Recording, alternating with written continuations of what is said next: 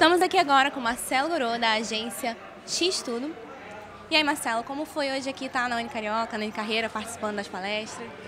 Hoje foi divertidíssimo. Muito tempo que eu não dava uma palestra com uma turma tão cheia.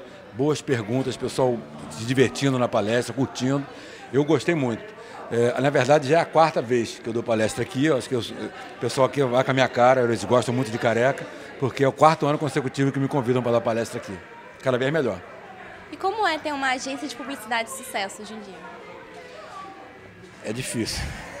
Não é fácil, é muito trabalhoso, mas ao mesmo tempo é muito gratificante. Né? Quando você resolve fazer o seu próprio negócio, cada pequena conquista passa a ter um sabor especial. Então é bem gratificante, na verdade. E como é lidar com o politicamente correto dentro da, da propaganda? Essa é a parte mais chata, né? A gente vive dias muito chatos, né? O mundo está muito chato com essa coisa do politicamente correto porque as pessoas confundem, coisa, confundem ética com caretice.